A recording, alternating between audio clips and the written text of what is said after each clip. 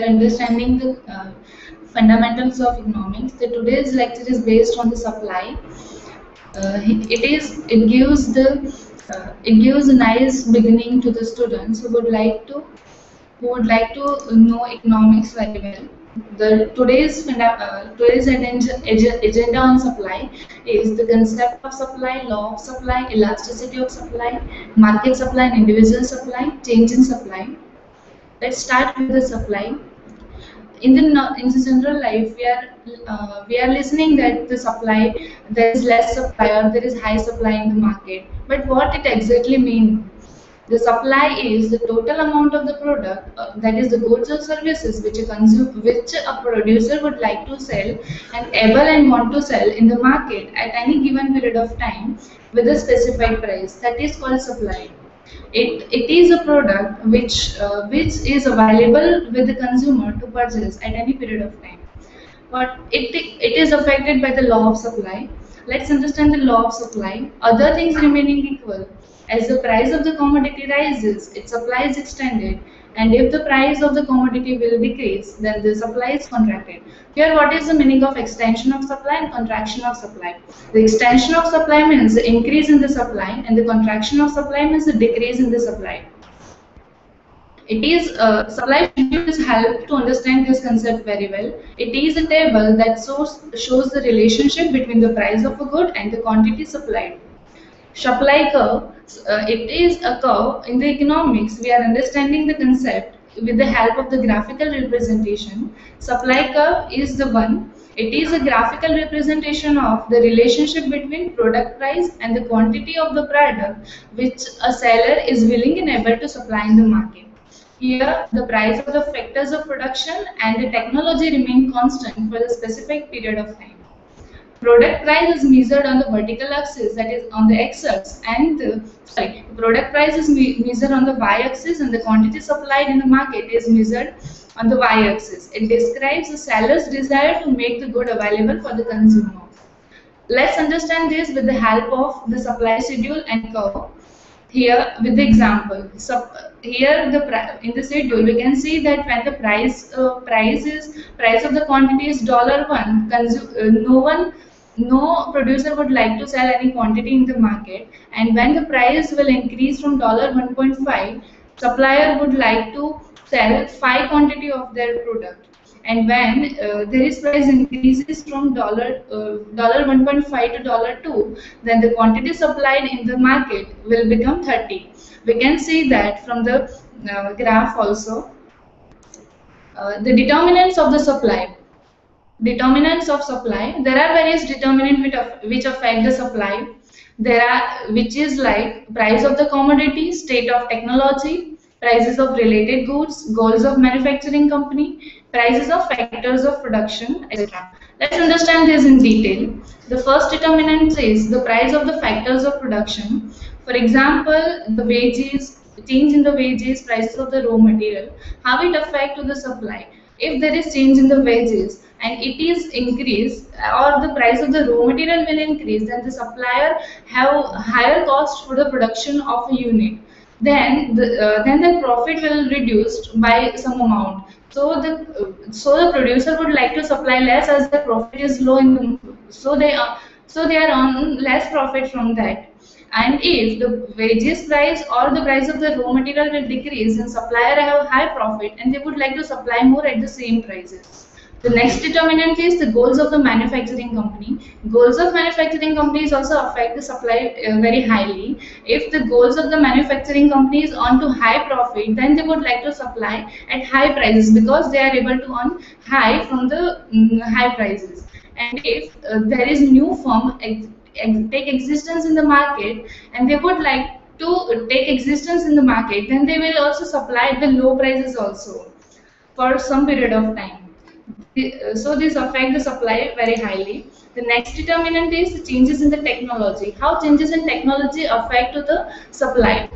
If uh, there is improved uh, improved technology uh, used by the firm, then uh, it will reduce the cost of the production of uh, unit to the producer, and uh, the and the same way the profit will higher to the firm. So the supplier would like to supply more in the market and if the technology is not cost saving then supplier would like to supply less because their profit will uh, reduced.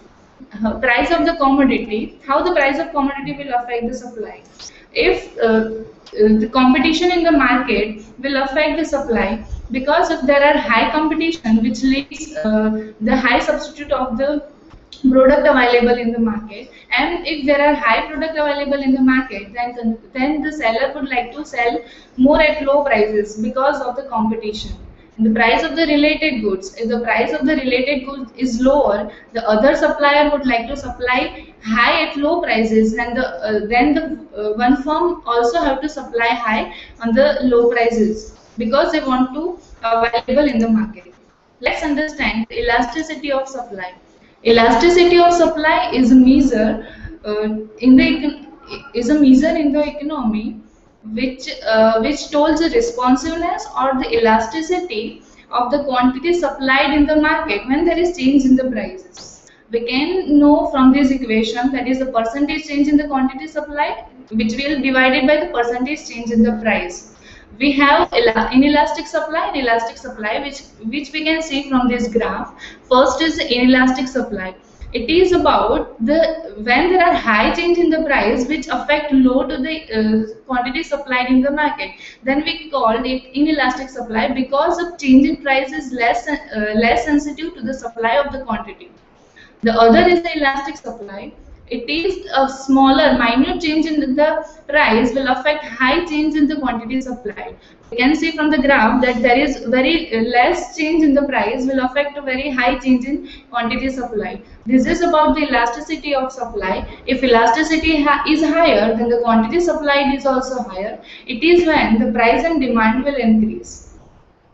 We have individual supply and market supply in the market. Individual supply is the goods or services uh, supplied by an individual seller is known as individual supply. The market supply is the combination of all, summation of all the individual supply is called the market supply. We can know, we can understand it very well from these uh, graphs and schedule, supply schedule. In the supply schedule, we can see that when the price is $30, firm A would like to supply 8 unit of quantity and firm B, firm B would like to supply 5 number of unit.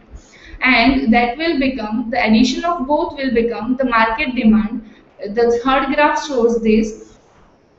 And when the prices decreases uh, decreases from 30 to 10 the firm A would uh, decrease their quantity supplied to 2 and firm B would supply one quantity and 3 will become the market demand in the market. It is about the market demand and the uh, individual demand. What is the change in supply and the, what is the change in quantity supplied there is a difference between the change in supply and change in quantity. Supplied students are often confused with this. Uh, we are understanding this very well. What is the change in supply? Change in supply is irrelevant with the price. If there is change in the cost input prices or technology technology or regulation expectation leads to the change in supply.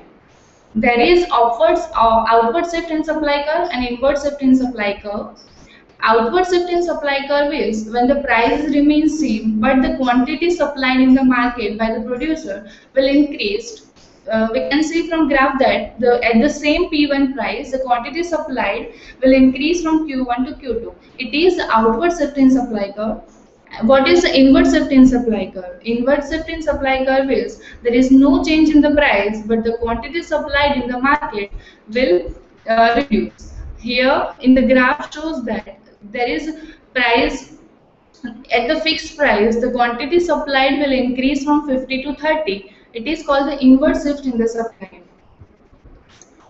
Change in quantity supplied Change in quantity supplied is affected by the prices. When there is increase or uh, decrease in the prices, the quantity supplied in the market will change. In the graph, we can see that when the price is P1, quantity supplied is Q1 and the A number of unit is supplied in the market. And when the price increased from P1 to P2, the supplied quantity increased from Q1 to Q2 and that will become and in the market B number of quantities supplied in the market. It is about the change in quantity supplied. It has movement along to the curve. It is about the today's lecture. It is about today's lecture. Stay tuned it is about today's lecture. Stay tuned with the uh, in the examrace.com for more fundamentals of economic learning. We'll be meeting you soon.